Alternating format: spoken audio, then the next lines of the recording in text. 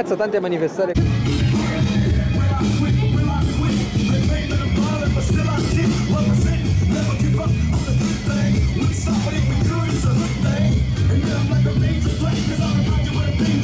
politiche di austerità e di controllo e di tagli indiscriminati allo Stato sociale le vediamo come responsabili non solo il direttivo della BCE, perché sappiamo che questi signori agiscono in concerto con i nostri governi nazionali, con il governo Renzi, con un governo che vuole dirsi democratico, ma che sta attuando le misure più antidemocratiche che attraversa il nostro paese. Riforme come il Jobs Act che vanno a istituzionalizzare per non farci protestare, per non farci rendere conto che questo è un attacco indiscriminato alle nostre condizioni di vita e di lavoro. Ed è per questo che oggi siamo in piazza, perché non ci stiamo a vedere che i, che i profitti di pochi siano come sempre ve- portati avanti a scapito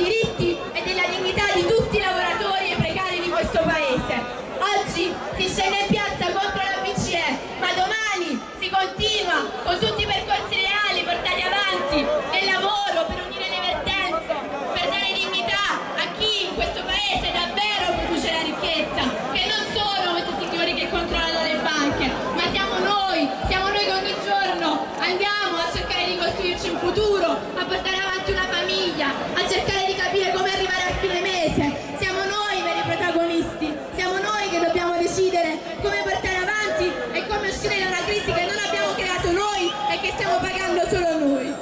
Ci dicono che non decidono niente, ci dicono che discutono astrattamente di economia, ma questa economia dopo la ritroviamo nei provvedimenti che il governo, che la regione, che le amministrazioni comunali compiono quotidianamente. La chiusura degli ospedali, la chiusura dei pronto soccorso, lo smantellamento del trasporto pubblico locale, i tagli al salario, la privatizzazione della scuola, dei servizi pubblici, sono le conseguenze materiali di quello che decidono a Bruxelles, a Francoforte e che oggi decideranno al Museo di Capodimonte a Napoli. Quelli che si riuniscono sono i tecnici, sono i burocrati della borghesia continentale europea, ossia dei padroni multinazionali che hanno deciso le politiche di macelleria sociale. Sono,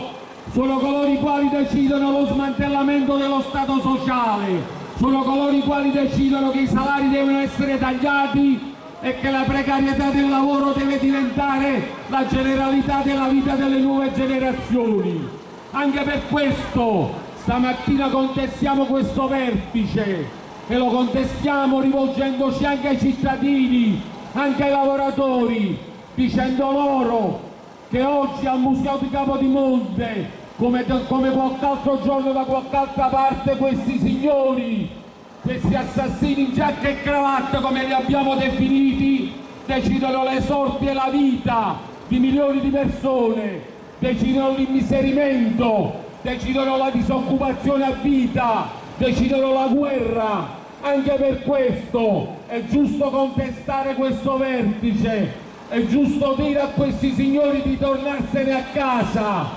che bisogna rompere l'Unione Europea, che bisogna rifiutare i trattati,